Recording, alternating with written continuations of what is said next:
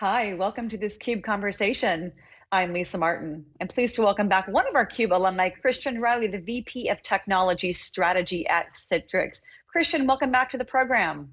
Thank you, Lisa, and thanks for having me. Great to see you again, albeit virtually this time. Great to see you too. It's been a couple years, and, and quite a few things have changed since we got to sit down at Synergy a couple of years to go together. Citrix has an exciting new announcement. Let's unpack that. Talk me to me about what you're announcing and what it's going to deliver.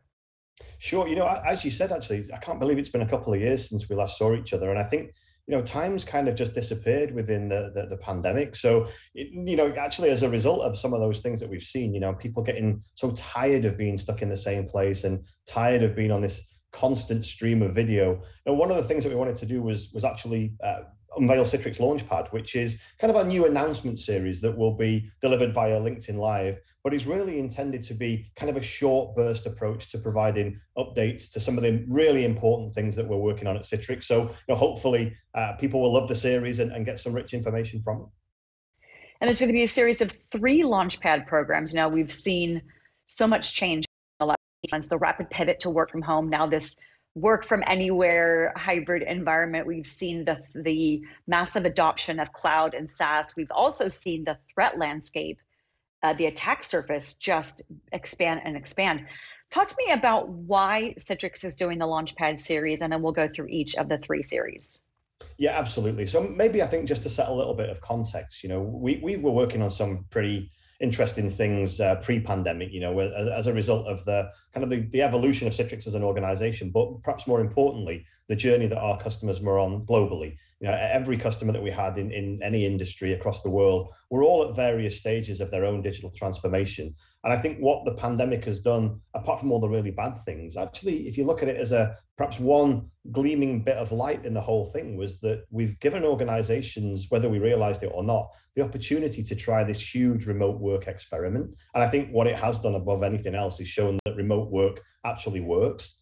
And so as a result of that, what we've seen coming out of the pandemic is that organizations are really going to use that as a springboard to implement some you know, new strategies, new technologies, and really drive the next generation of their business. So with one eye on that, I think if you were to categorize the three big things that we're looking at from a Citrix perspective, it's really about how to help or continue to help our customers with their accelerated IT modernization to really help them understand what it takes to have secure, flexible work in this new post-pandemic world. And then also to think about productivity. You know, what does productivity mean in a world of ever more distributed teams? And so the events that we're, we're talking about, and specifically the cloud one, will focus on some of the new offerings from Citrix, some of the new technologies, and talk about the trends that we see within our customers. So, you know, one of the big things that Citrix has always been very proud of is our market leading position in virtual application and virtual desktop delivery. And even that itself has now begun to emerge into what we call desktop as a service. And there's a ton of new innovations that we've been working on in that space as well. But also, if you think about what's happening in cloud, as you talked about, you know, the evolution of applications being from traditional on-premises worlds to SaaS applications, what we're also seeing is things like the network services that used to support those applications when they looked slightly differently from a deployment perspective, and now all move into cloud services the security that you alluded to in terms of how complicated that is, but how important it is for IT organizations, those services also moving to cloud as the applications begin to look very differently in the future. So extremely excited about the cloud launchpad. You know, we're going to talk a lot about those things that we're doing both in the public cloud, you know, in the hybrid cloud, and, and I think it'll resonate well with customers around the world. I think it will as well. And you mentioned there are glimmers of hope that we've seen in the last 18 months. And one of the things that this has proved is that work from home can be productive, can be successful. Employees need to be empowered to be able to do that. Let's go ahead and talk through the first um, program, Accelerating IT Modernization. This is Tuesday, September 28th. Let's talk about some of the of the Citrix innovations that you're going to be announcing. Yeah, so I mean, as, as I mentioned, you know, we, we, we think about sort of accelerated IT modernization in various parts. You know, we tend to start with the classic infrastructure, and we've seen over the years that lots of infrastructure, you know, is leaving the building, and, and, and by that we mean the traditional realms of on-premises data centers or co-location facilities. This constant evolution and, and migration of those services uh, to, to, infrastructure as a service providers from the huge cloud companies that are out there. And we continue to see that as a, as a huge trend, of course.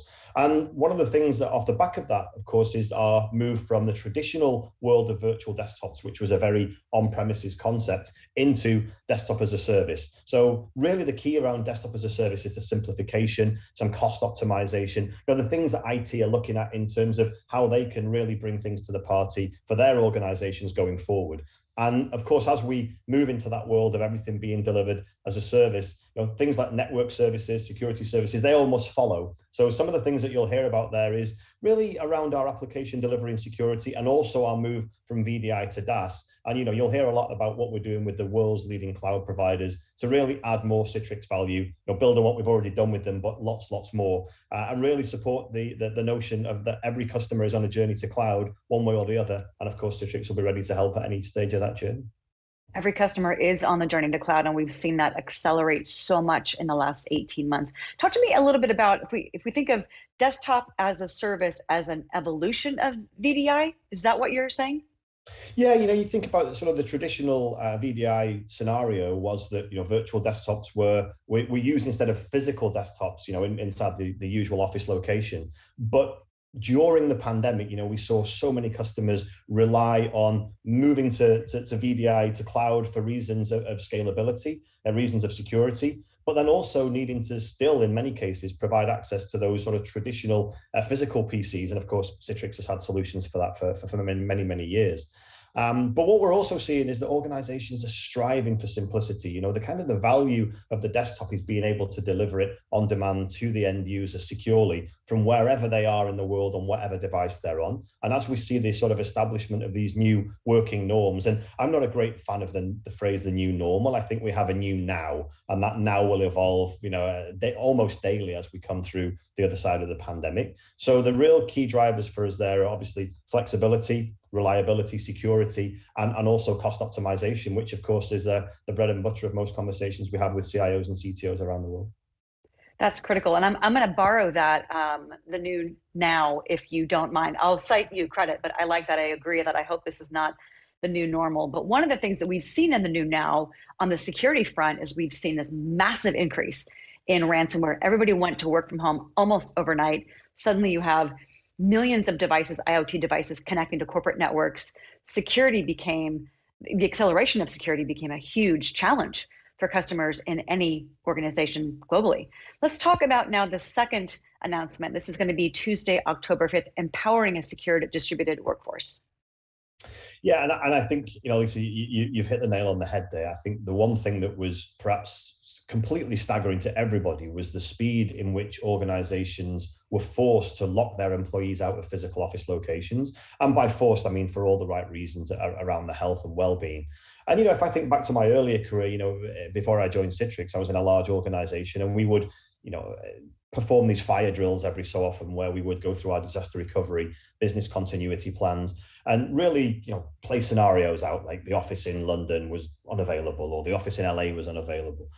But never once do I remember us doing every office in every location is offline from tomorrow and there's no negotiability. If you have a device at home, please use it. You know, we can't provide laptops quick enough, especially with the global chip shortage now as well. So whatever device you have, we'll do our best to, to make that secure. And I think there was a an expectation that the, the, the employees would sort of play nicely in that scenario. But of course, you know, if you you have your home device, you probably don't update it as much as a work device. So it really does require a new set of thinking. And of course, Citrix has been at the forefront of the zero trust evolution. You know, the technologies that we have in place actually do permit remote work and have done for many years. But I think what we're seeing now is a slightly different type of remote work, you know, with different types of, of applications and devices, as you said, different locations, you know, needing to knit all of that together in a sort of a more contextual way so that we can understand, you know, combinations of the end user, their location, the types of applications that they're using, the state of their devices, and sort of bring all that together to really understand, you know, just exactly how much security needs to be applied.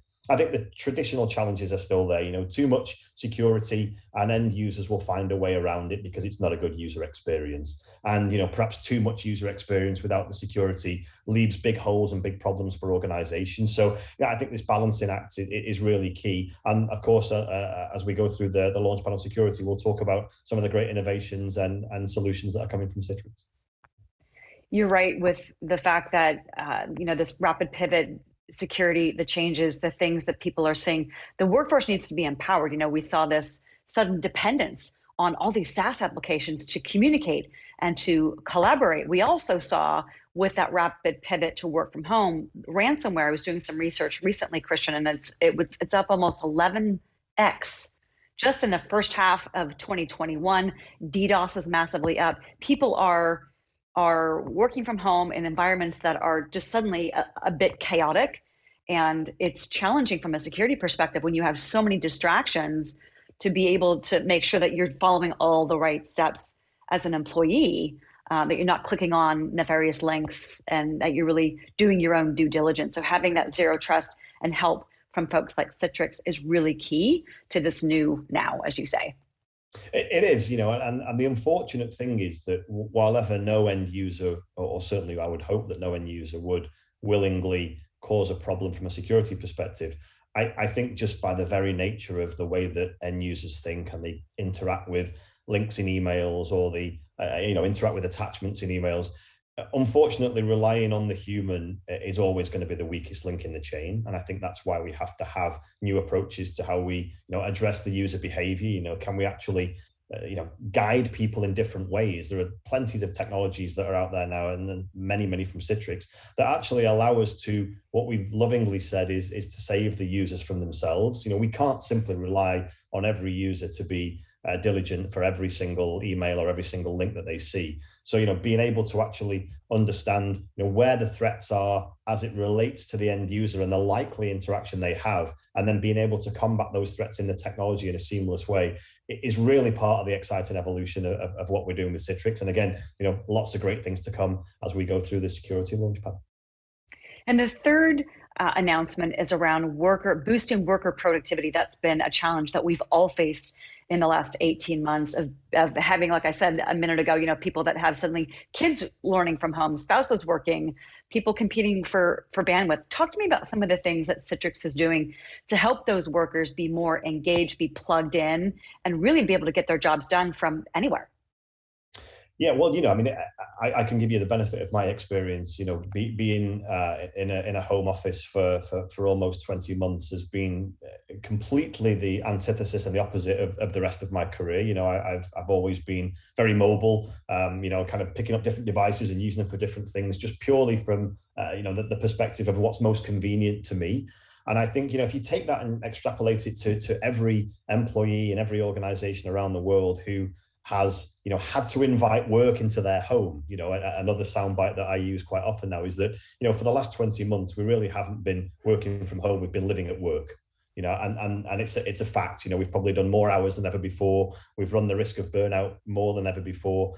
And you know prior to the pandemic uh, i know in fact you and i talked about this very thing uh, at, synergy. You know we, we talked about the notion of of needing to focus on employee experience and employee productivity. You know, we saw plenty of examples in customers with huge initiatives around employee experience uh, and employee productivity. You know, CIOs partnering with with HR leads and really trying to figure out and map the employee journey. You know, what is it that they do every day? You know, how can we make their life easier? And, and perhaps interestingly, how can we reduce some of the mundane overhead, you know, approvals or requests or things that we see in our everyday life, but actually give the employees more time to be valuable and, and do great cognitive work, which is, of course, what, what humans do best.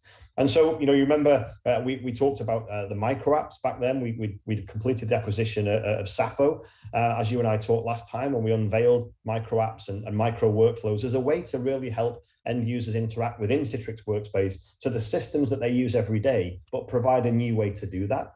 And just earlier this year, we completed the acquisition and integration of Wrike, which was a fantastic addition to the Citrix portfolio. And so we've really begun to think about, you know, how can we actually help employees to do their best work. You know what are the new capabilities that we need within citrix workspace? What are the new capabilities that we need in Wrike how do we bring all that together with some of the other uh, solutions that we have citrix podio there's a, a really interesting suite of, of productivity applications that we have really aimed at that number one problem which is how can i get people to be productive to stay engaged to lower the burnout and help them do their best work. And I'm really, really excited because there's some fantastic things to announce at the work version of the Launchpad, which is on October 12th. all of those are so critical. You know, I, I've always said employee productivity, employee experience is directly related to the customer experience. I've used Wrike myself before um, for different projects and being able to have productivity tools that allow the employee to engage, to be able to empower them to move projects forward, especially in, in a time that is still somewhat chaotic, is is critical. As is to your point, ensuring that there are the proper tools to facilitate folks so that they get what they need when they need it to help reduce burnout. That's been a big challenge. You're right that the living at work thing is real, it's persisting, and we're going to be in this hybrid environment for a, some TBD amount of time longer. So, having the ability to be empowered and productive in a secure way, leveraging cloud capabilities is really key. And it's exciting to hear what Citrix Launchpad is going to announce over those three days and deliver. Yeah, you know, I, I would just say, eh, eh, you know, in, in, sort of summary, we're, we're, we're, really excited about the three areas, you know, and, and, and they really do sort of all come together in some of those challenges that we talked about, you know, specifically around how we can help organizations to address that accelerated IT modernization, to drive secure, flexible work in the new now, and also to really reach that goal of having extremely productive distributed teams as we come out the other side of the pandemic. So, you know, lots going on. Uh, fantastic time to, to, to, be here and to talk to you and, and to be at Citrix, of course, with so many, you know, huge customer issues that we, that we have to solve. And, and we're really excited for the challenge. Excellent. And we all are looking forward to that. The Citrix Launchpad series. Christian, where can folks go to register for these different programs? Yeah, sure. So it's pretty simple. So if we just go to http bit.ly, bit.ly forward slash Citrix Launchpad, and we can sign up through that. Excellent. I've already signed up. I'm looking forward to these series, this series to learn more about what you guys are doing and kind of dig in, double click on some of the things that you spoke about. Christian, thank you for joining me today, talking about the Launchpad series and uh, letting folks know where they can go to register. Thank you, Lisa. Great to be on and great to see you again. Likewise, for Christian Reilly, I'm Lisa Martin. You're watching a CUBE Conversation.